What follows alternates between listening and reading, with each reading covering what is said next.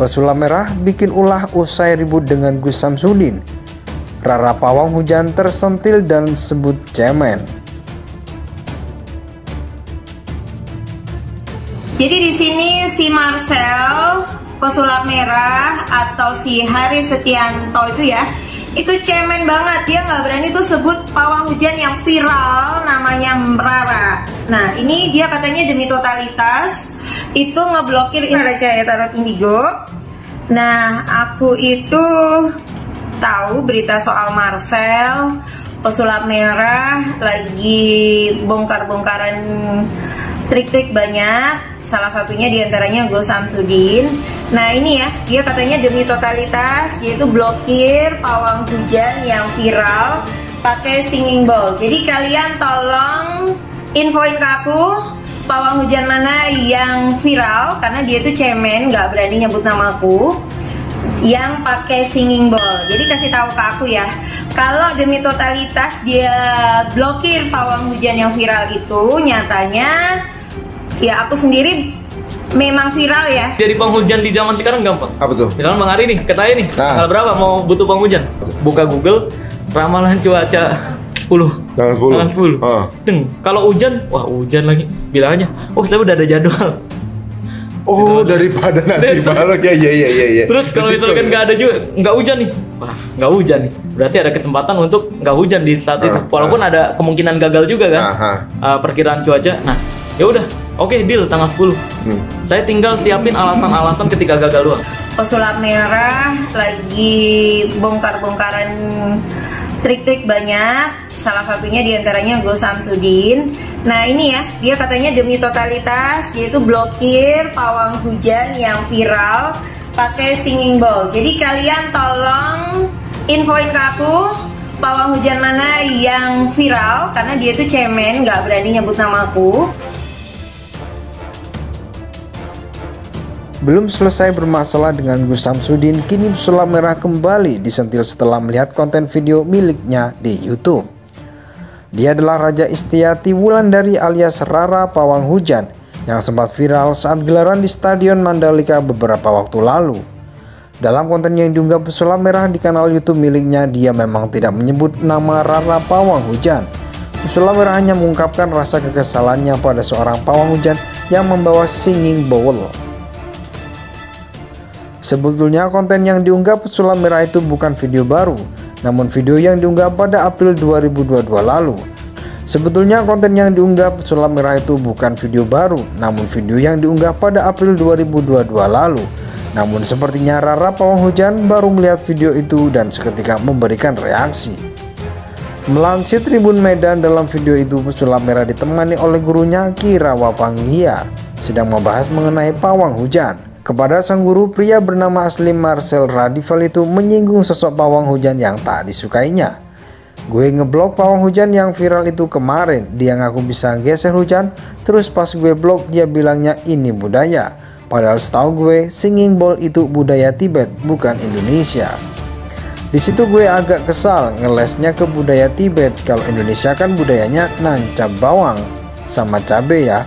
Pungkas pesulap merah dilansir tribunnewsbogor.com dari YouTube Marcel Radival.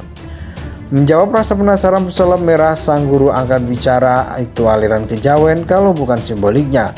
Bawang itu simbolik awan, cabai simbolik dari pacaran sinar matahari, tusuk lidinya itu gambaran dari diri kita yang coba berdoa sama yang maha kuasa. Gimana caranya awan tembus dan airnya terpecah, terang, ujar Kirawa Panggia. Tak hanya itu, Kirawa Panggia pun turut mengurai apa sebenarnya ilmu yang dimiliki pawang hujan. Diakui sang paranormal, pawang hujan adalah sosok yang mampu mengetahui tanda-tanda awal, bukannya yang bisa menggerakkan awan atau menggeser hujan.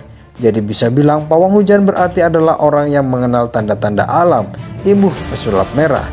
Iya benar, emang itulah yang kita pelajari, kata Kirawa Pangga. Kalau itu gue masih setuju, kalau ada yang bilang pawang hujan itu geser hujan, gue pingin pembuktian. Timpal pesulap merah sebab disadari Rara, sosok pawang hujan yang sedang disindir pesulap merah itu adalah dirinya. Hai Haris alias Marcel, aku baru lihat nih konten kamu. Kenapa kamu gak berani ya sebut pawang hujan yang viral itu pakai singing bowl? Itu nama aku Rara. Cemen deh, sindir Rara. Melalui tulisan panjangnya itu Rara balik menyentil pesulap merah. Menurut Rara pesulap merah tak seharusnya membuat konten dengan cara menjatuhkan orang lain.